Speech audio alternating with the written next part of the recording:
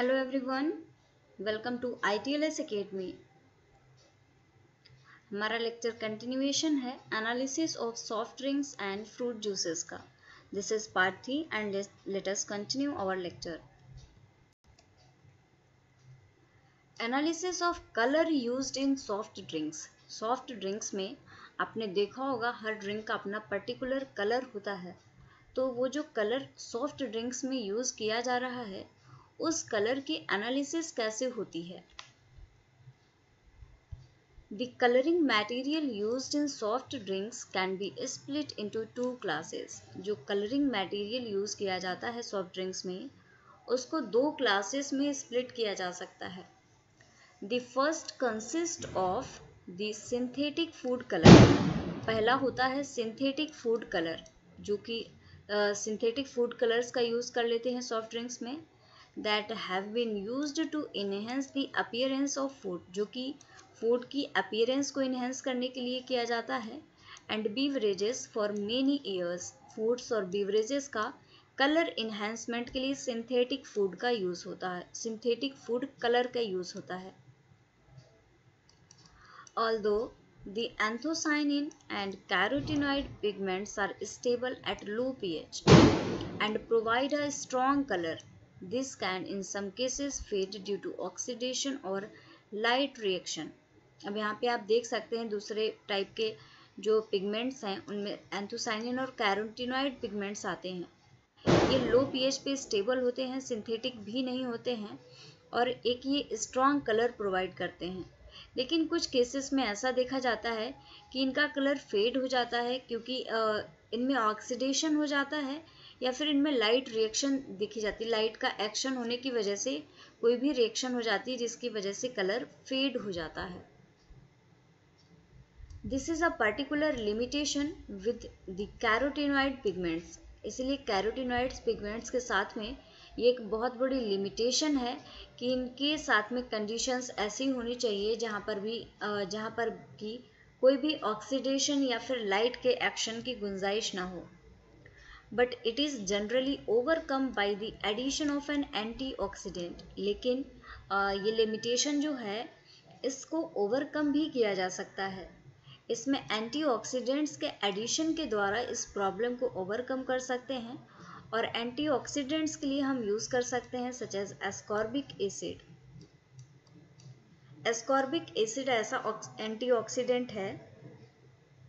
which is significantly improves their stability ये stability को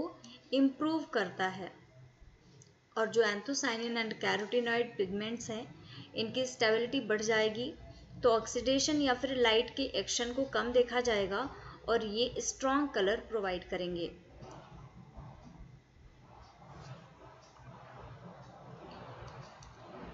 Should be remembered if ascorbic acid is present in a formulation अगर किसी भी formulation में ascorbic acid present है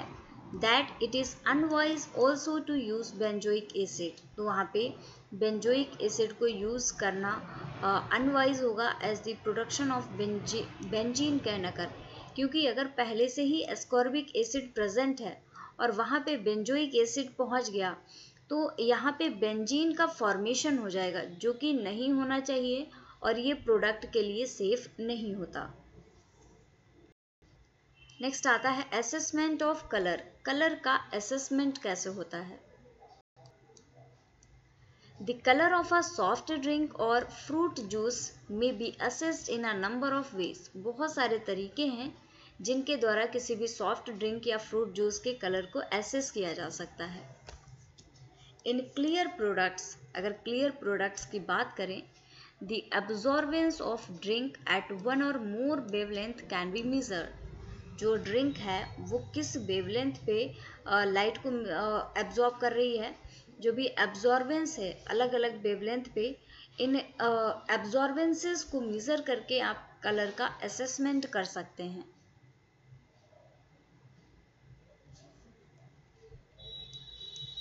the actual wavelength chosen will depend on the particular color of the product. जो भी wavelengths होंगी जिनको आप चूज़ करेंगे एनालाइज करने के लिए असेसमेंट करने के लिए, वो डिपेंड करेंगी कि प्रोडक्ट का पर्टिकुलर कलर क्या है। विद द रेड और ब्लैक जूस अगर रेड या ब्लैक जूस की बात करें the product may have to be diluted so that the intensity of the colour can be assessed within the linear range of the spectrophotometer. Red और black juices के case में होता ये है कि उन, जो प्रोडक्ट होता है, उसको पहले डाइल्यूट करना पड़ता है क्योंकि रेड और ब्लैक ऐसे कलर हैं जिनकी इंटेंसिटी बहुत ज़्यादा होती है, बहुत हाई इंटेंस कलर होते हैं इसलिए इनको पहले डाइल्यूट किया जाता है ताकि इनकी जो इंटेंसिटी है, उसको कम किया जा सके, उसको उस रेंज में लाया जा सके जिसको कि स्पेक्ट्रोफोटोमीटर के द्वारा डिटेक्ट किया जा सकता है। The dilution should be done in an acidic buffer dilution के लिए एसिडिक बफर का यूज़ किया जाना चाहिए ताकि to ensure that the true colour intensity is recorded क्योंकि एसिडिक बफर में जो ट्रू कलर इंटेंसिटी होगी, उस इंटेंसिटी को रिकॉर्ड किया जा सकता है।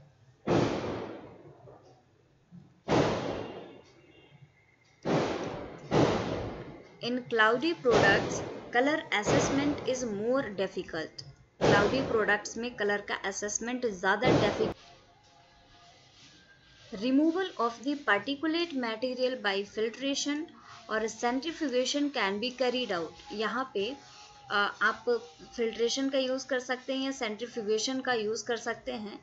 ताकि पर्टिकुलर जो पार्टिकुलेट मटेरियल है उसका रिमूवल किया जा सके। But this does not solve the problem लेकिन जो कलर असेसमेंट है क्लाउडी प्रोडक्ट्स में, उसकी ये प्रॉब्लम यहीं पे सॉल्व नहीं होती है. As some colours particularly the carotenoids and some anthocyanin pigments are strongly absorbed onto the particulate material or filters. क्योंकि जो कैरोटिनोइड्स हैं एंथोसाइनेंस हैं ये ऐसे पिगमेंट्स होते हैं जो कि किसी भी मटेरियल जो पार्टिकुलेट मटेरियल हैं या जो फिल्टर्स हैं, उनकी सरफेस पे एब्जॉर्ब हो सकते हैं और वो भी स्ट्रांगली एब्जॉर्ब हो जाते हैं। And their removal gives are low colour reading और जब उनका रिमूवल होता है तो वहाँ पे जो आपको एक्चुअल स्पेक्ट्रोफोटोमीटर में रीडिंग मिलती है, वो रीडिंग एक्चुअल से कम कलर की रीडिंग होती है। Let us discuss some points about the synthetic colors when colors are added to a food system जब food system में colors का addition किया जाता है their characterization is sometimes more difficult उनका करेक्टराइजेशन ज़्यादा डिफ़िकल्ट हो जाता है this is due to interference from other materials in the food और difficulty with their quantitative extraction from the food matrix ये होता इसलिए है क्योंकि जो दूसरे फ़ूड मटेरियल्स होते हैं, उनसे यहाँ पे इंटरफेरेंस देखा जाता है, या फिर उनके क्वांटिटेटिव एक्सट्रैक्शन में डिफिकल्टी देखी जाती है। Using H P L C coupled with a diode array detector H P L C को डायोड एरे डिटेक्टर के साथ में कपल किया गया है, इसका नाम रखा गया है H P D A D तो इसकी मदद से it is possible to collect a compounds absorbance spectrum H P L C diode array detector की मदद से किसी भी कंपाउंड का आप एब्जॉर्बेंस स्पेक्ट्रम बना सकते हैं as it elutes from the H P L C column जैसे ही ये H P L C column से इल्यूट होता है। This greatly assist in the identification of colours ये कलर्स के आइडेंटिफिकेशन में असिस्ट करता है। And a wide range of other compounds that absorb in the UV और विजिबल रीजन और इसके साथ ही बहुत से अदर कंपाउंड्स जो कि यूवी एंड विजिबल रीजन में एब्जॉर्बेंस करते हैं, इनके आइडेंटिफिकेशन में भी ये असिस्ट कर सकता है। The separation of the colors has been carried out using ion exchange resin. Ion exchange resin की मदद से कलर्स का सेपरेशन किया जा सकता है। इसके अलावा reverse phase H P L C coupled with ion pair reagent reverse phase C को आयन पेयर रीजेंट्स के साथ में कपल करके भी आप कलर्स के सेपरेशन को कर सकते हैं। इसके अलावा and reverse phase H P L C at low P H where the ionization of the dyes is suppressed अगर रिवर्स फ़ेज़ सी को लो पी एच पे लेते हैं तो वहाँ पे जो डाइज होती हैं, उनका आयोनाइजेशन सप्रेस हो जाता है, जिसकी वजह से आप कलर्स के सेपरेशन को डिटेक्ट कर सकते हैं।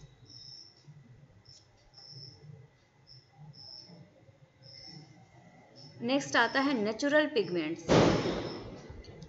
this section examines the analysis of two major classes of compounds पहला है एंथोसाइनिन बेस्ड मटेरियल और दूसरा है carotenoid based material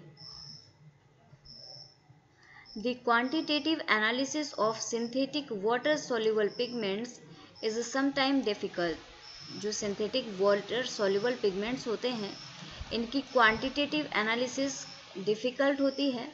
but it is often impossible with natural pigments लेकिन नेचुरल पिगमेंट्स के साथ में ये क्वांटिटेटिव एनालिसिस समझ लीजिए, आप बिल्कुल इम्पॉसिबल होती है। क्योंकि because of the lack of pure standards क्योंकि यहाँ पे प्योर स्टैंडर्ड्स नहीं देखे जाते। Their prohibitive cost and their poor stability और इसके साथ ही जो नेचुरल पिगमेंट्स होते हैं, इनकी प्रोहिबिटिव कॉस्ट होती है और स्टेबिलिटी भी इनकी पुअर होती है। Fortunately quantitative analysis of the anthocyanin is less critical अगर एंथोसाइनिन की क्वांटिटेटिव एनालिसिस की बात करें तो ये लेस क्रिटिकल होती है। Then analysis of the synthetic pigment और जो सिंथेटिक पिगमेंट्स हैं, इनकी क्वांटिटेटिव एनालिसिस काफ़ी इजी होती है क्रिटिकल नहीं होती। As their use is permitted quantum satis in beverages whereas there are defined maximum limit for the synthetic color. जो नेचुरल कलर्स होते हैं, इनकी लिमिट बहुत ज़्यादा एक्सीड नहीं की जा सकती क्योंकि आप कैसे कम करेंगे? वो तो नेचुरली उसमें प्रेजेंट है। आप उसको हटा नहीं सकते। लेकिन जो सिंथेटिक कलर्स हैं सिंथेटिक कलर्स के लिए एक लिमिट होती है कि जो मैक्सिमम लिमिट है, आप इस लिमिट को एक्सीड नहीं कर सकते। आपको इस पर्टिकुलर लिमिट से कम लेवल में ही सिंथेटिक कलर्स को यूज़ करना है। Generally the analysis of anthocyanin pigments is usually carried out to assess the authenticity of red जो एंथोसाइन इन पिगमेंट होता है anthocyanin पिगमेंट्स की एनालिसिस रेड की, रेड कलर की ऑथेंटिसिटी को एसेस करने के लिए की जाती है। ये इंपॉर्टेंट पॉइंट है, आप लोग याद भी रखिएगा, क्योंकि क्वेश्चन पूछा जा सकता है कि रेड कलर की ऑथेंटिसिटी को एसेस करने के लिए, रेड कलर की ऑथेंटिसिटी को डिटेक्ट करने के लिए किस पिगमेंट का यूज़ किया जाता है।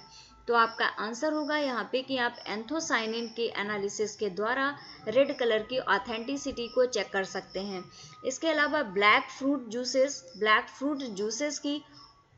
ऑथेंटिसिटी को भी एंथोसाइनिन के एनालिसिस के द्वारा चेक किया जा सकता है।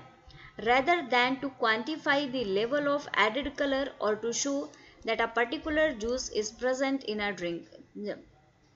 जब तक कि आपको ये ना करना हो कि आपका जो एडेड कलर है, उसके लेवल को क्वांटिफाई करना, ये सारी चीज़ें थोड़ी डिफ़िकल्ट लेवल पे आ जाती हैं। तो इन सब चीज़ों के अलावा आप डायरेक्टली इसको एंथोसाइनिन के लेवल को एनालाइज करके भी डिटेक्ट कर सकते हैं।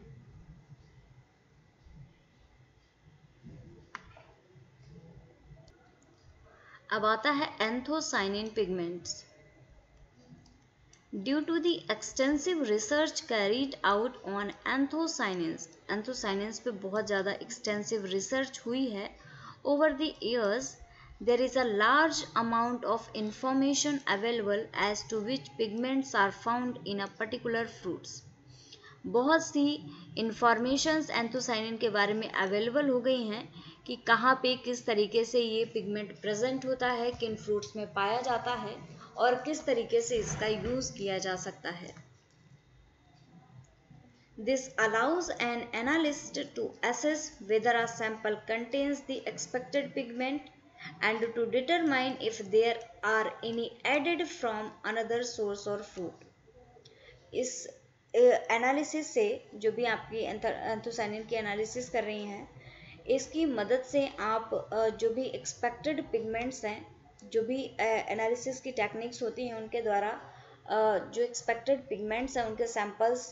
सैंपल्स में जो भी एक्सपेक्टेड पिगमेंट्स हैं, उनकी एनालिसिस को कर सकते हैं और आप डिटरमाइन कर सकते हैं कि क्या कोई भी किसी अदर सोर्स से या फ्रूट से कोई भी एडिशन हुआ है कलर का या फिर किसी और इंग्रेडिएंट का। Most anthocyanin analysis today is carried out using reverse phase HPLC. Anthocyanin analysis के लिए reverse phase HPLC का broad range पे use होता है often coupled with diode array detection और इसको अभी हमने पहले भी देखा था कि HPLC को डायोड एरे डिटेक्शन के साथ में इसको HPLC DAD भी हमने बोला था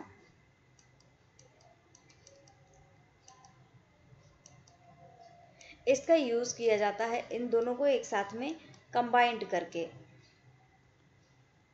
और इनको कंबाइंड इसलिए किया जाता है as this offers the best analytical approach क्योंकि ये बेस्ट एनालिटिकल अप्रोच देता है टू एसेस दिस कंपाउंड ताकि इन कंपाउंड्स को जैसे कि एंथोसाइनिन है, इनको डिटेक्ट किया जा सके एसेस किया जा सके। The use of reverse phase HPLC means that predictions can be made about the elution order of the compounds from the column. जो रिवर्स फ़ेज़ एच है इसके यूज़ का मतलब होता है कि जब कंपाउंड्स का एल्यूशन होता है HPLC से उनके बारे में पहले से ही प्रडिक्शन बनाए जा सकते हैं कि कब कौन सा कंपाउंड किस रेंज में जाकर इल्यूट होगा which is based on their polarity और ये इल्यूशन का ऑर्डर आप कैसे पता कर सकते हैं? जो भी आपके इंग्रेडिएंट्स हैं, उनकी पोलैरिटी क्या है? उनकी पोलैरिटी के बेस पे ये डिसाइड कर सकते हैं। And makes the interpretation of the anthocyanin profile easier और इसकी मदद से एंथोसाइनिन प्रोफ़ाइल का इंटरप्रिटेशन भी इजी हो जाता है।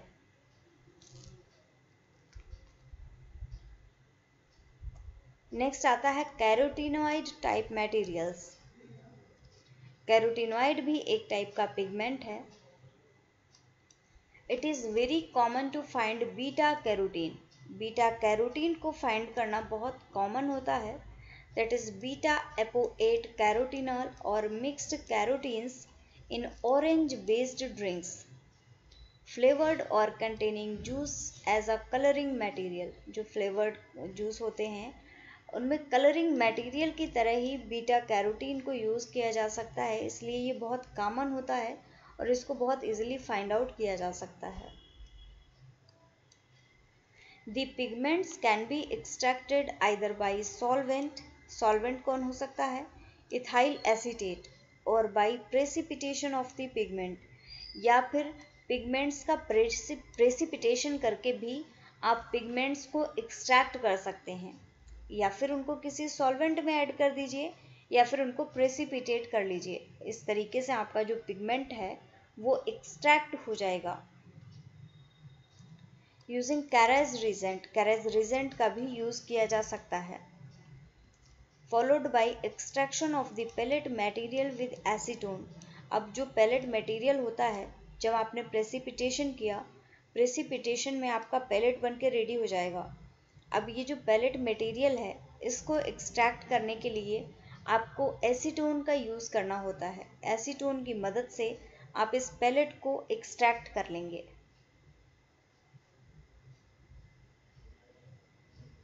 The extract can then be assessed by spectrophotometer अब आपका जो पैलेट है एक्सट्रैक्ट हो गया है। अभी इस एक्सट्रैक्ट को एसेस करने के लिए आपको यूज़ करना होता है स्पेक्ट्रोफोटोमीटर का। To give an estimate of the color uses by determination of the absorbance at 430 nanometer. अब जो स्पेक्ट्रोफोटोमीटर है, ये कलर को डिटरमाइन करता है, ये 430 नैनोमीटर की वेवलेंथ को एब्जॉर्ब करता है और the exact can be assessed by the H अब या एस जो स्पेक्ट्रोफोटोमीटर की ये टेक्निक है, इसके द्वारा आप एसेस कर सकते हैं या फिर जो आपका एक्सट्रैक्ट है उसका असेसमेंट आप एचपीएलसी के द्वारा भी कर सकते हैं। As beta carotene also has some vitamin A activity जो बीटा कैरोटीन है, उसमें कुछ विटामिन ए की एक्टिविटीज़ भी होती हैं। So it is sometimes added to product for fortification purpose कुछ कभी कभी ऐसा भी देखा जाता है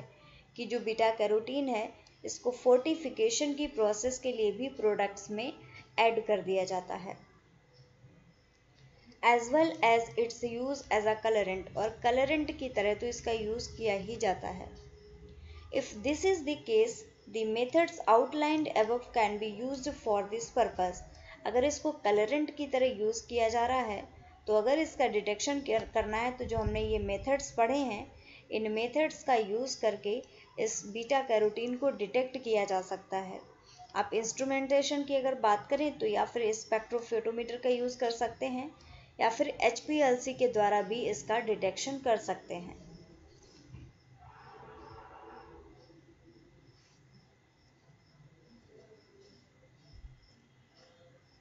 Vitamin analysis in soft drinks system. Soft drinks system में विटामिन की एनालिसिस कैसे होती है? Vitamin fortification of beverages can offer its own challenges जो विटामिन का फोर्टिफिकेशन है, ये अपने खुद के ही चैलेंजेस ऑफ़र करता है। As the producer has to ensure that the vitamin are stable enough for level claims to be met at the end of its shelf life जो भी प्रोड्यूसर होता है, उसकी ये रिस्पॉन्सिबिलिटी होती है कि वो ये ये इंश्योर करे कि जिस भी प्रोडक्ट को उसने प्रोड्यूस किया है, उस प्रोडक्ट के लेवल पे विटामिन्स को लेकर जो भी क्लेम्स किए गए हैं, वो सारे के सारे सही हों और जो भी सेल्फ लाइफ है प्रोडक्ट की, उस पूरी सेल्फ लाइफ तक वो विटामिन स्टेबल होना चाहिए। जो भी सेल्फ लाइफ है उसकी, उसके एंड तक उसकी कोई भी क्वालिटी में चेंज नहीं होना चाहिए। सेम क्वालिटी स्टार्टिंग से लेके एंड तक दिखी जानी चाहिए। Another problem is masking the taste of some of the added vitamins. अगली प्रॉब्लम आती है कि जो कुछ एडेड विटामिन हैं, इनका टेस्ट अगर अलग तरीके का कुछ है तो उनके टेस्ट टेस्ट को मास्क कर देना मास्क करने का मतलब है कि जो उनका एक्चुअल टेस्ट आ रहा है अच्छा टेस्ट नहीं आ रहा है तो उसके टेस्ट को मास्क करके कोई और टेस्ट उनको दे देना particularly those from the B group जो बी ग्रुप के विटामिन होते हैं, उनमें ये टेस्ट की प्रॉब्लम देखी जाती है। तो इसके लिए टेस्ट की मास्किंग कर दी जाती है, ताकि जो उनका एक्चुअल बैड टेस्ट है, वो वहाँ से हाइड हो जाए मास्क हो जाए, और वहाँ पे नया कोई भी टेस्ट ऐड कर दिया जाए।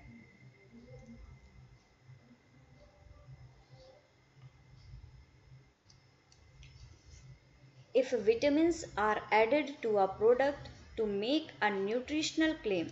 अगर विटामिन को प्रोडक्ट में न्यूट्रिशनल क्लेम्स के लिए एडिशन किया जा रहा है so it is critical that shelf life studies are undertaken to prove that the overages added are sufficient to ensure that the label claims can be met at the end of its self life अगर vitamin को nutritional claim के लिए add किया जा रहा है तो self life की स्टडीज़ में ये क्रिटिकल हो जाता है कि इस इस चीज़ को प्रूव किया जाए कि जो भी आपने ऐड किया है विटामिन या जो प्रोडक्ट तो वो सफिशियंट है ये इंश्योर करने के लिए कि लेबल जो भी क्लेम है उस पर वो जो भी प्रोडक्ट की सेल्फ लाइफ है उसके एंड तक उसे मेट करते हैं और उसकी क्वालिटी में चेंज नहीं होता है। Trace levels of transition metals can also be deleterious effect on vitamin loss. कुछ ट्रांजिशन मेटल्स अगर प्रोडक्ट में प्रेजेंट हैं तो ट्रांजिशन मेटल्स का अगर ट्रेस लेवल भी होगा, बहुत जरा सा लेवल भी होगा तो उसका भी डिलेटोरियस इफ़ेक्ट देखा जा सकता है विटामिन लॉस पे और ये विटामिन का लॉस करा सकते हैं so metal scavengers such as EDTA और phosphate salts are often added to improve their shelf life तो अगर कुछ ऐसा देखा जाता है कि ट्रांजिशन मेटल्स का कोई ट्रेस लेवल भी प्रेजेंट हो सकता है तो वहाँ पे मेटल स्केवेंजर्स होते हैं। मेटल स्केवेंजर्स का एडिशन कर दिया जाता है। दो एग्ज़ाम्पल हैं, जैसे कि EDTA है फॉस्फेट साल्ट्स हैं। ई एक चिलेटिंग एजेंट है। ये अपने चारों तरफ़ मेटल को ऐड कर लेता है और जो प्रोडक्ट है उसको फ्री कर देता है मेटल से। तो इसीलिए उस प्रोडक्ट की सेल्फ लाइफ को इम्प्रूव करने के लिए इन्हीं मेटल स्केवेंजर्स का ही यूज़ कर लिया जाता है, ताकि जो भी अगर मेटल्स हैं तो वो वहाँ से हट जाए और जो प्रोडक्ट है उसमें किसी भी तरीके का विटामिन लॉस ना देखा जाए और उसकी सेल्फ लाइफ और उसकी न्यूट्रिशनल क्वालिटी मेंटेन रहे।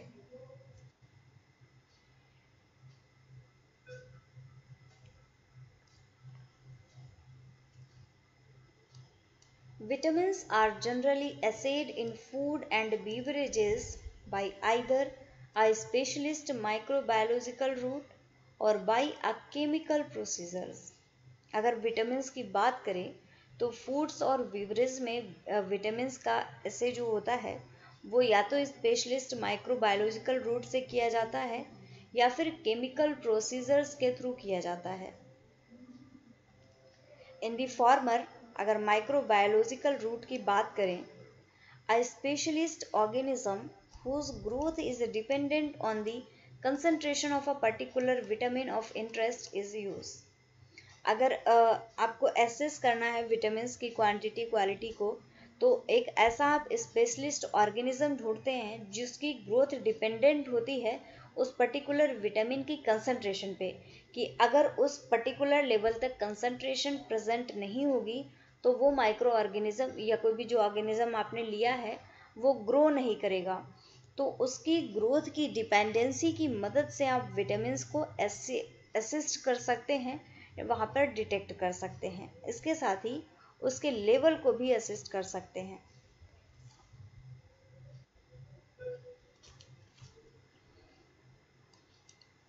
It is not uncommon to include a hydrolysis step. ये बहुत कॉमन है कि यहाँ पे एक हाइड्रोलिसिस स्टेप को भी इंक्लूड किया जा सकता है into the extraction procedure product के एक्सट्रैक्शन के लिए जो भी आपका इंग्रेडिएंट है उसके एक्सट्रैक्शन के लिए हाइड्रोलिसिस को इंक्लूड किया जा सकता है यूज़ किया जा सकता है before vitamin are analysed vitamin की एनालिसिस से पहले। This can either be to hydrolyze ester groups to liberate the free alcohol. यहाँ पे ester ग्रुप्स को यूज़ किया जा सकता है हाइड्रोलिसिस के लिए, ताकि ये जो ester ग्रुप्स होते हैं, ये फ्री अल्कोहल को लिबरेट कर देते हैं in the case of fat soluble vitamin और ये जो केस देखा जाता है, ये फैट सोल्यूबल विटामिन के केस में देखा जाता है कि आपने ester ग्रुप्स का यूज़ किया, उन्होंने हाइड्रोलिसिस की और एल्कोहल को फ्री करके लिबरेट कर दिया वहाँ से। और the removal of phosphate groups and so on with some of the B vitamin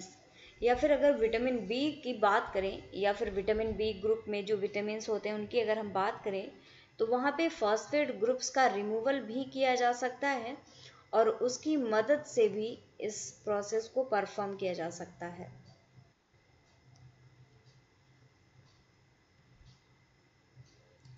Although there are a number of citations in the AOAC manual,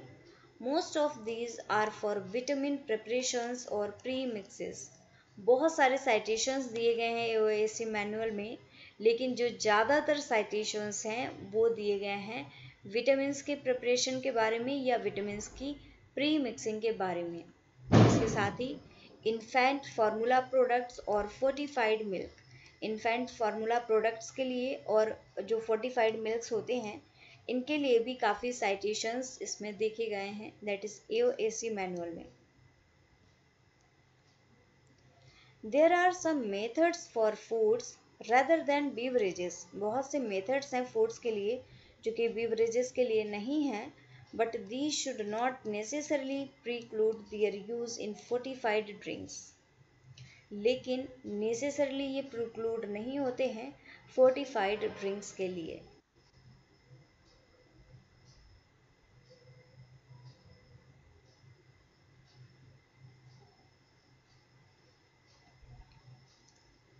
So thank you everyone for watching this session अगर आप course को join करना चाहते हैं तो visit करिए हमारी academy की वेबसाइट को आई को। या फिर अगर आप डायरेक्टली ज्वाइन करना चाहते हैं तो आपको डिस्क्रिप्शन में लिंक मिल जाएगा। आप उस लिंक पे जाइए क्लिक करिए और वहाँ से आप होम पेज पे पहुँच जाएँगे कोर्स के पेज पे पहुँच जाएँगे। वहाँ से कोर्स को आप डायरेक्टली ज्वाइन कर सकते हैं। फॉलो करिए I T L S Academy को on various social media platforms like Instagram Facebook Twitter YouTube WhatsApp and LinkedIn साथ ही सब्सक्राइब करिए हमारे YouTube channel I T L S Academy को और हम बेल आइकॉन को भी प्रेस करिए ताकि कोई भी वीडियो अपलोड हो तो आपको नोटिफिकेशन मिल जाए, आपको नोटिफाइड कर दिया जाए। अगर आप चाहें तो आप I T L S Academy के ऐप को भी डाउनलोड कर सकते हैं गूगल प्ले स्टोर से, जहाँ पर सारी कोर्सेज सारी चीज़ें इजीली एक्सेसिबल हैं और आप इजीली आप I T L S Academy की चीज़ों को एक्सेस कर सकते हैं। So thank you for watching like this video share and subscribe to our youtube channel if you are having any query or any doubt then feel free to contact on our helpline number that is 7080833450 so thank you very much everyone आप हमारी website को भी visit कर सकते हैं www.itlsacademy.com thank you for thank you for watching this session thank you for connecting with itls academy